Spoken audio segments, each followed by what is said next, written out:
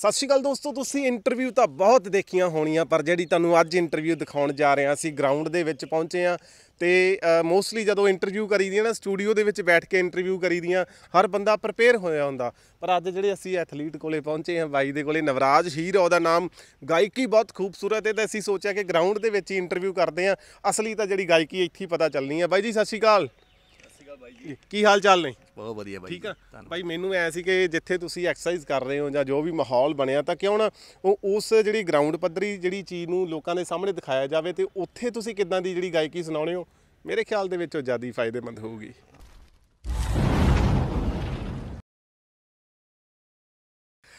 ਹੱਸ ਖੇਡ ਜ਼ਿੰਦਗੀ ਗੁਜ਼ਾਰ ਲੈ। ਹੱਸ ਖੇਡ ਜ਼ਿੰਦਗੀ ਗੁਜ਼ਾਰ ਲੈ। ਹਿਲ ਜਰਾ ਮੇਰੇ ਵੱਲੋਂ ਢਿੱਲ ਨਹੀਂ। ਹੁਣ ਹੁਣ ਨੱਚ ਲੈ ਜਵਾਨੀਏ ਹੁਣ ਹੁਣ ਨੱਚ ਲੈ ਜਵਾਨੀਏ। ਹੁਣ ਹੁਣ ਨੱਚ ਲੈ ਜਵਾਨੀਏ ਉਮਰ ਢਲੀ ਤੋਂ ਹੋਣਾ ਹਿੱਲ ਨਹੀਂ। ਹੁਣ ਹੁਣ ਨੱਚ ਲੈ ਜਵਾਨੀਏ ਉਮਰ ਢਲੀ ਤੋਂ ਹੋਣਾ ਹਿੱਲ ਨਹੀਂ। ਬਾਈ ਨਵਰਾਜ ਪਹਿਲਾਂ ਤਾਂ ਯਾਰ ਤੁਸੀਂ ਵਧਾਈ ਦੇ ਪਾਤਰ ਹੋ ਕਿਉਂਕਿ ਜਿਹੜਾ ਇੱਕ ਕਲਾਕਾਰ ਉਹੀ ਮੰਨਿਆ ਜਾਂਦਾ ਜਿਹੜਾ ਮੌਕੇ ਤੇ ਮੌਕੇ ਦੀ ਨਜ਼ਾਕਤ ਨੂੰ ਸਮਝ ਕੇ ਜਿਹੜਾ ਮੇਰੇ ਖਿਆਲ ਚ ਗੀਤ ਸੁਣਾ ਦੇਵੇ ਤਾਂ ਉਹ ਕਲਾਕਾਰੀ ਉਹ ਸਭ ਤੋਂ ਬੈਸਟ ਪਰਫਾਰਮਰ ਵੀ ਹੁੰਦਾ। ਤੇ ਤੁਸੀਂ ਵਾਕਈ ਉਹ ਜਿਹੜਾ ਢੁਕਮਾ ਇੱਕ Song ਸੁਣਾਇਆ। ਇਹ ਇਹ ਕਿੱਦਾਂ ਮਤਲਬ ਜ਼ਹਿਨ ਚ ਆਇਆ ਵੀ ਹੁਣ ਹੁਣ ਨੱਚ ਲਾ ਜ਼ਵਾਨੀ ਹੈ ਕਿ ਭਵਿੱਖ ਬਾਰੇ ਚਿੰਤਾ ਹੋਗੀ ਕਿ ਯਾਰ ਬਾਅਦ ਚੋਂ ਸ਼ਾਇਦ ਔਖਿਆਈ ਹੋਵੇ ਤੇ ਕਿਉਂ ਨਾ ਹੁਣ ਹੀ ਨੱਚ ਲਿਆ ਜਾਵੇ ਸਾਰਾ? ਹਾਂਜੀ ਦੇਖੋ ਇਹ ਤਾਂ ਹਰੇਕ ਪਰਸਨ ਨਾਲ ਹੁੰਦਾ ਕਦੇ ਨਾ ਕਦੇ ਕੋਈ ਬੰਦੇ ਨੂੰ ਸਰੀਰਕ ਫਿਜ਼ੀਕਲ ਪ੍ਰੋਬਲਮ ਵੀ ਆ ਜਾਂਦੀ ਹੈ ਮਿਹਨਤ ਕਰਦੇ ਵੀ ਆ ਜਾਂਦੀ ਹੈ। ਤਾਂ ਫਿਰ ਉਦੋਂ ਫਿਰ ਬੰਦੇ ਨੂੰ ਲੱਗਦਾ ਵੀ ਹੁਣ ਹੁਣ ਤਾਂ ਬੰਦੇ ਨੂੰ ਹਨਾ ਜੇ- ਜਵਾਨੀ ਦੇ ਵਿੱਚ ਕਰੋ ਐਕਸਰਸਾਈਜ਼ ਔਰ ਨਸ਼ਿਆਂ ਤੋਂ ਦੂਰ ਰਹੋ। ਜੀ। ਤੇ ਨਹੀਂ ਤਾਂ ਫਿਰ ਬੁਢਾਪੇ ਦੇ ਵਿੱਚ ਤਾਂ ਹਰੇਕ ਬੰਦਾ ਫਿਰ ਬਹਿ ਕੇ ਮੇਲਾ ਵੇਖਦਾ ਹੀ ਆ। ਹੁਣ ਤੁਰ ਫਿਰ ਕੇ ਮੇਲਾ ਵੇਖੀ ਜੀ ਜੀ ਜੀ। ਤਾਂ ਬਾਈ ਨਵਰਾਜ ਮੈਂ ਤੁਹਾਨੂੰ ਪੁੱਛਣਾ ਚਾਹਣਾ ਵੀ ਜਿਹੜੀ ਗਾਇਕੀ ਵੱਲ ਧਿਆਨ ਕਿੱਦਾਂ ਹੋ ਗਿਆ? ਇੱਕ ਪਲੇਅਰ ਦਾ ਜਾਂ ਜਿਵੇਂ ਮੈਨੂੰ ਪਤਾ ਚੱਲਿਆ ਸੀ ਕਿ ਤੁਸੀਂ ਸਰਕਾਰੀ ਟੀਚਰ ਦੇ ਵੱਲੋਂ ਵੀ ਸੇਵਾਵਾਂ ਨਿਭਾ ਰਹੇ ਹੋ ਹਨਾ? ਤਾਂ ਇੱਕ ਪਾਸੇ ਉਹ ਅਧਿਆਪਕ ਹੋਣ ਵਾਲਾ profession ਇੱਕ ਪਾਸੇ ਇਹ ਤੇ ਵਿੱਚ ਗਾਇਕੀ ਤੇ ਇਹ ਸੁਮੇਲ ਕਿੱਦਾਂ ਹੋਇਆ?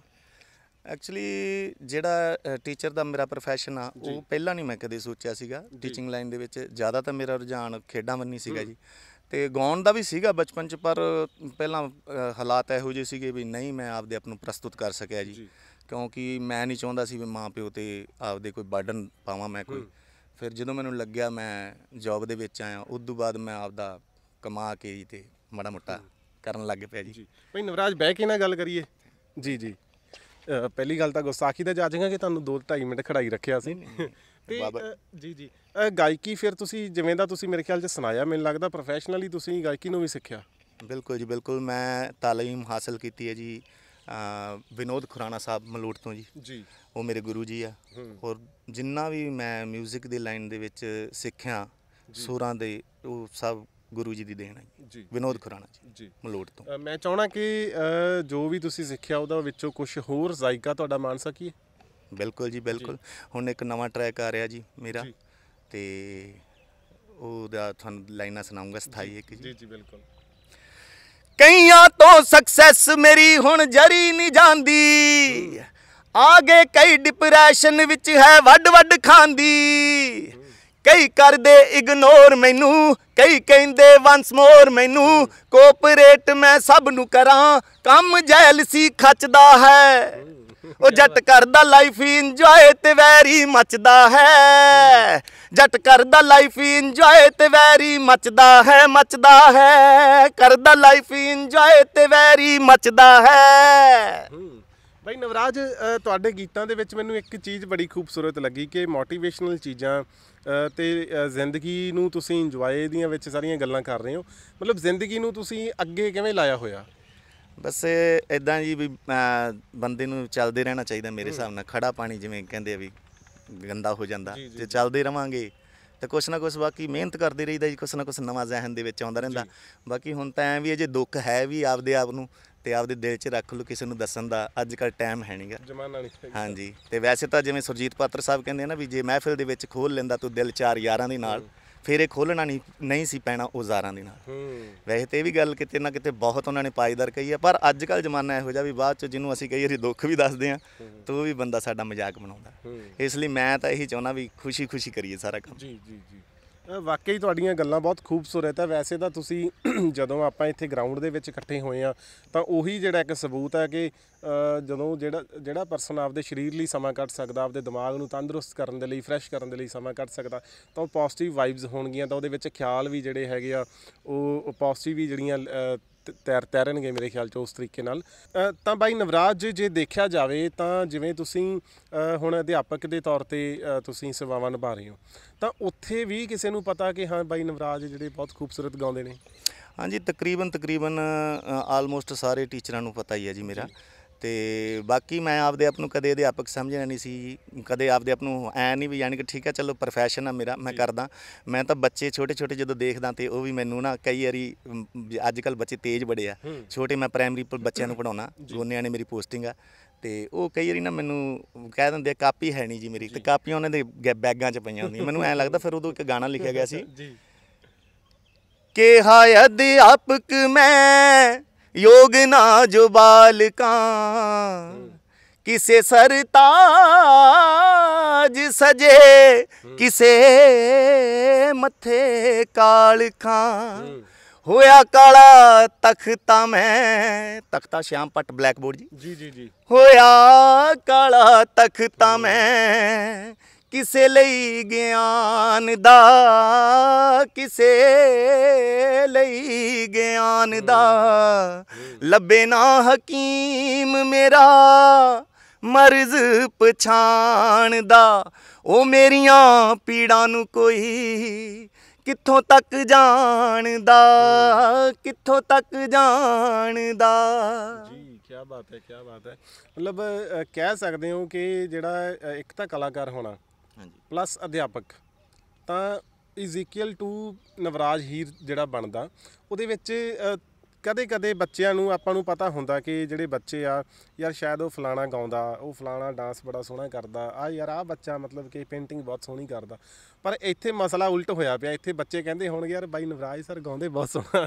ਹਾਂ ਅਕਸਰ ਬੱਚੇ ਨਾਲ ਮੈਂ ਬੱਚਿਆਂ ਨਾਲ ਮੈਨੂੰ ਕਹਿ ਦਿੰਦੇ ਆ ਕਿ ਮੇਰੀ ਬਾਡੀ ਲੈਂਗੁਏਜ ਦੇਖ ਕੇ ਨਾ ਕਿ ਉਹਨਾਂ ਮੇਰੀ ਫਿਜ਼ੀਕ ਦੇਖ ਕੇ ਉਹਨਾਂ ਨੂੰ ਲੱਗਦਾ ਵੀ ਬੱਚਿਆਂ ਨੂੰ ਉਹਨੇ ਡਰਾ ਕੇ ਰੱਖਦਾ ਹੋਊਗਾ।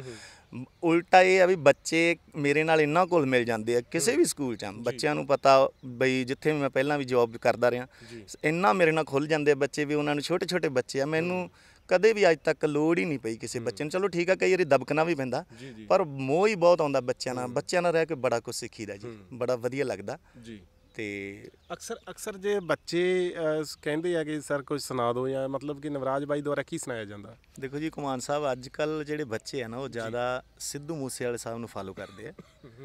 ਔਰ ਮੈਂ ਤਾਂ ਦੇਖਿਆ ਵੀ ਬੱਚਾ ਬੱਚਾ ਫੈਨ ਆ ਉਸ ਬੰਦੇ ਦਾ। ਤੇ ਉਸ ਬੰਦੇ ਦਾ ਵਾਕਈ ਰਹਿੰਦੀ ਦੁਨੀਆ ਤਾਂ ਹੀ ਨਾਮ ਰਹੂਗਾ। ਇੰਨਾ ਬੰਦੇ ਨੇ ਨਾਮ ਨਾ ਖੱਟਿਆ ਉਸ ਬੰਦੇ ਨੇ। ਔਰ ਬਾਕੀ ਮੈਂ ਉਹਨਾਂ ਦਾ ਜਿਹੜਾ ਅ, ਗੀਤ ਸੀ 295 ਉਹਦੇ ਤੋਂ ਬਹੁਤ ਜ਼ਿਆਦਾ ਮੁਤਾਸਿਰ ਹੋਇਆ ਸੀਗਾ ਜਦੋਂ ਮੈਂ ਸੁਣਿਆ।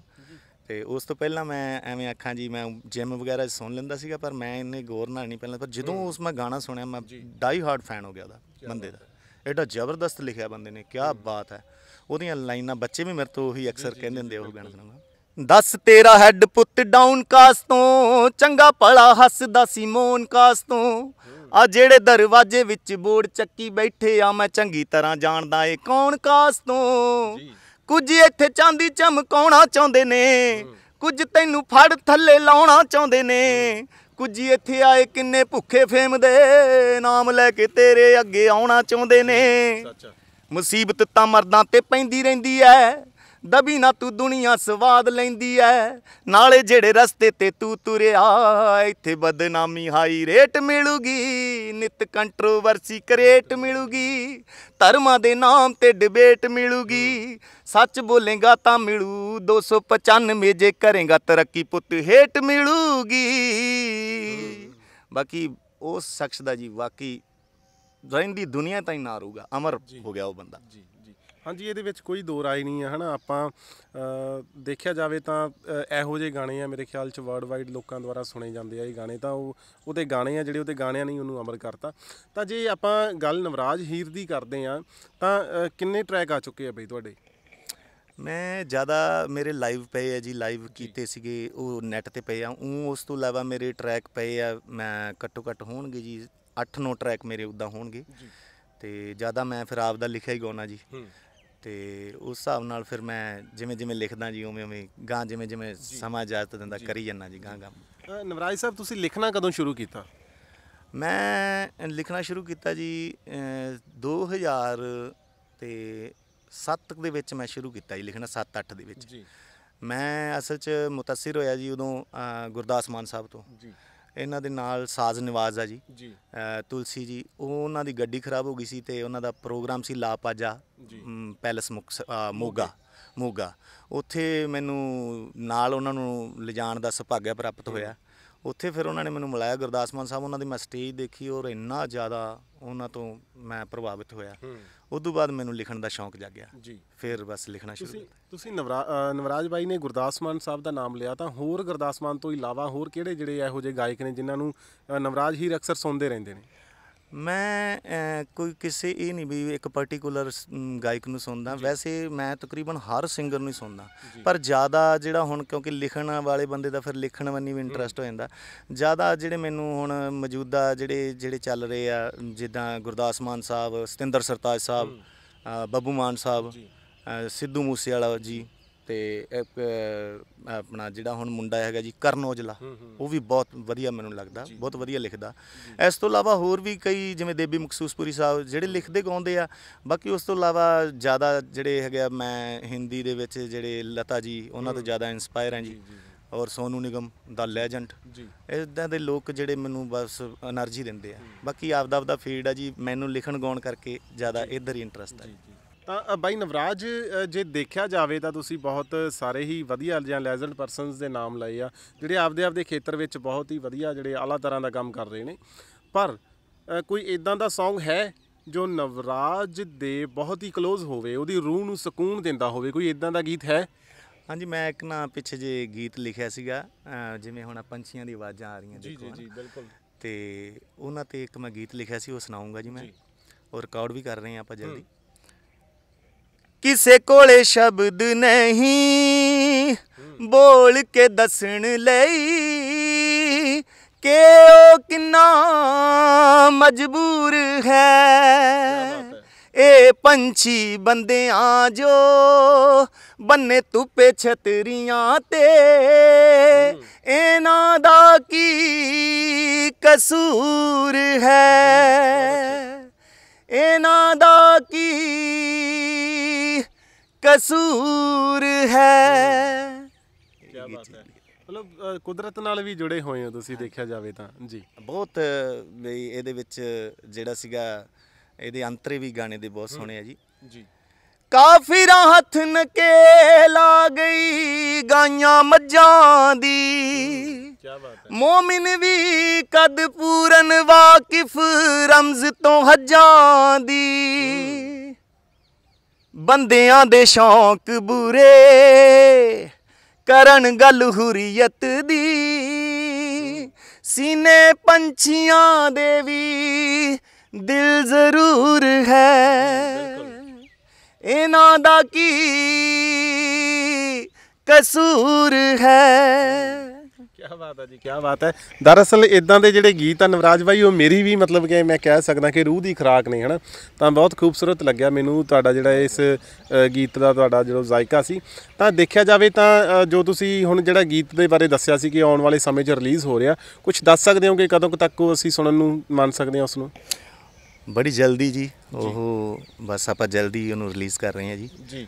ਤੇ ਆਪਾਂ ਤੁਹਾਡੀ ਰਹਿਨੁਮਾਈ ਦੇ ਵਿੱਚ ਹੀ ਜੀ ਜੀ ਜੀ। ਬਹੁਤ ਟਾਈਟਲ ਕੀ ਉਹਦਾ? ਉਸ ਦਾ ਗੀਤ ਦਾ ਟਾਈਟਲ ਰੱਖਿਆ ਜੀ ਜੱਟ ਕਰਦਾ ਲਾਈਫ ਇੰਜੋਏ ਓਕੇ ਓਕੇ ਤਾਂ ਬੜਾ ਵਧੀਆ ਲਿਖਿਆ ਜੀ ਤੁਸੀਂ ਸਾਰੇ ਸਰੋਤਿਆਂ ਨੂੰ ਵੀ ਬੇਨਤੀ ਹੈ ਜੀ। ਵੀ ਜਦੋਂ ਸੁਣਨ ਤਾਂ ਜਰੂਰ ਉਹਨੂੰ ਐਪਰੀਸ਼ੀਏਟ ਕਰਨ। ਜੀ। ਤਾਂ ਬੜਾ ਉਹ ਵਧੀਆ ਲੱਗੂਗਾ ਜੀ ਸਾਰਿਆਂ ਨੂੰ। ਅੱਛਾ ਬਾਈ ਮੈਂ ਥੋੜਾ ਜਿਹਾ ਮੁੱਦੇ ਤੋਂ ਹਟ ਕੇ ਗੱਲ ਕਰਦਾ। ਜਦੋਂ ਮੈਂ ਆਇਆ ਸੀ ਤੁਸੀਂ ਸ਼ਾਇਦ ਵਾਰਮ ਅਪ ਕਰ ਰਹੇ ਸੀ ਐਕਸਰਸਾਈਜ਼ ਕਰ ਲਈ ਆ ਜਾਂ ਅਜੇ ਕਰਨੀ ਆ? ਐਕਸਰਸਾਈਜ਼ ਕਰ ਵੀ ਲਿੱਤੀ ਸੀ ਜੀ। ਜੀ। ਬਾਕੀ ਕੁਝ ਰਹਿੰਦੀ ਵੀ ਸੀ ਜੀ। ਕਿਉਂਕਿ ਮੈਂ ਤੁਹਾਡੀ ਐਕਸਰਸਾਈਜ਼ ਦਾ ਵੀ ਖਿਆਲ ਰੱਖਣਾ ਤੇ ਗੱਲਾਂ ਬਾਤਾਂ ਦਾ ਵੀ ਜਿਹੜਾ ਮੇਰਾ ਧਿਆਨ 'ਚ ਹੈਗੀਆਂ। ਤੇ ਬਹੁਤ ਖੁਸ਼ੀ ਹੋਈ ਕਿ ਤੁਸੀਂ ਕੀਮਤੀ ਸਮਾਂ ਆਪਣੀ ਐਕਸਰਸਾਈਜ਼ ਤੋਂ ਕੱਢ ਕੇ ਦਿੱਤਾ ਕਿਉਂਕਿ ਇੱਕ ਅਧਿਆਪਕ ਹੁੰਦੇ ਆ ਸਮਾਜ ਦਾ ਦਰਪਣ ਹੁੰਦੇ ਆ ਹਨਾ।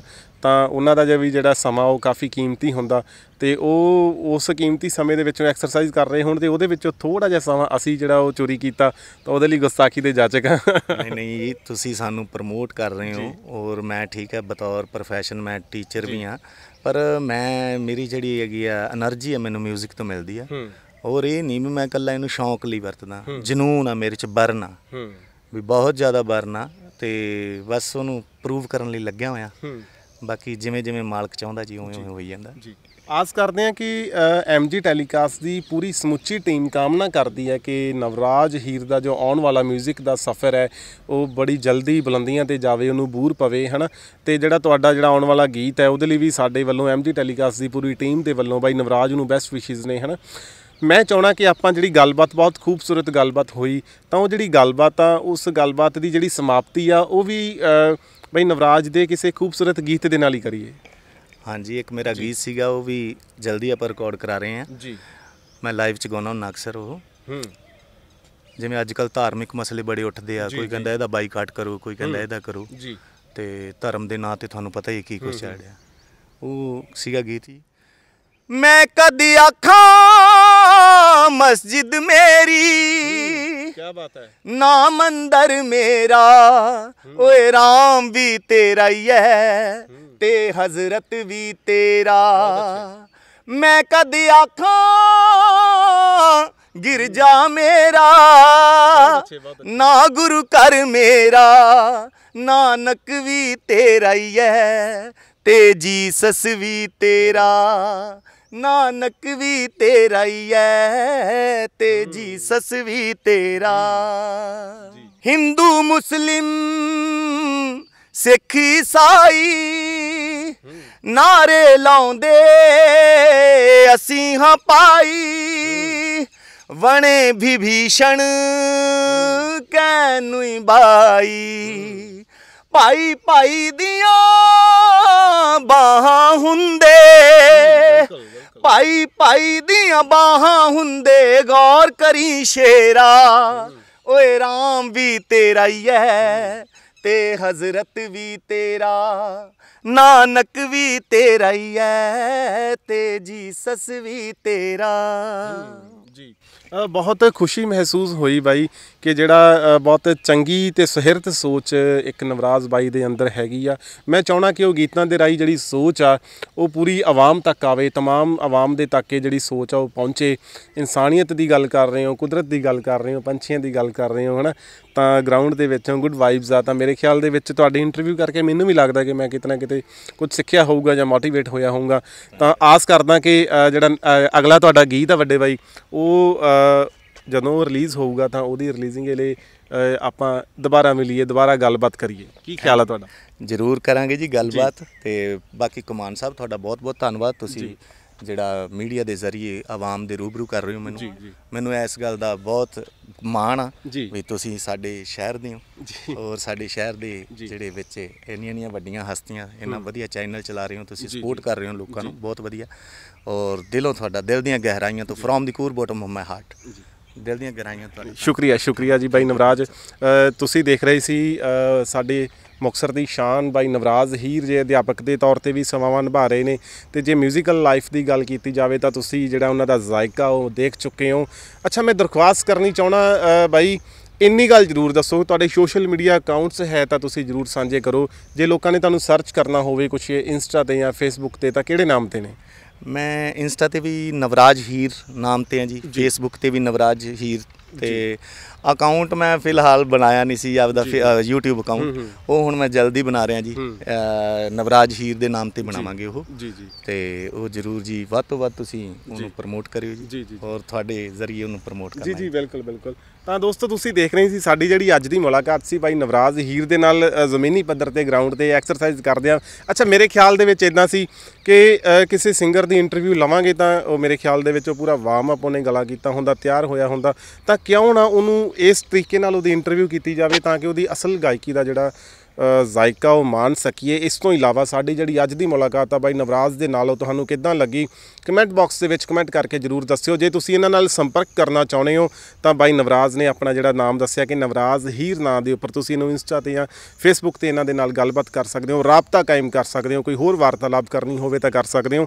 ਇਸ ਤੋਂ ਇਲਾਵਾ ਜਿਹੜਾ ਗੀਤ ਆ ਦੁਬਾਰਾ ਮਿਲਣ ਦੀ ਆਸ ਦੇ ਵਿੱਚ ਇਹਨਾਂ ਤੋਂ ਵਧਾਈਗੀ ਲੈਣੇ ਆ ਜ਼ਿਆਦਾ ਸਮਾਂ ਨਾ ਲੈਂਦਿਆਂ ਹੋਇਆ ਜੀ ਤੁਹਾਡੇ ਤੋਂ ਇਜਾਜ਼ਤ ਲੈਣਾ ਕੈਮਰਾਮੈਨ ਐਸਬੀ ਦੇ ਨਾਲ। ਮੈਂ ਤੁਹਾਡਾ ਆਪਣਾ host Manjinder Singh Fateh Kumar MG telecast ਸ਼ੁਕਰੀਆ ਨਵਰਾਜ ਭਾਈ। ਜੀ। ਸਰ ਥੈਂਕ ਯੂ ਬਹੁਤ ਬਹੁਤ ਮਿਹਰਬਾਨੀ।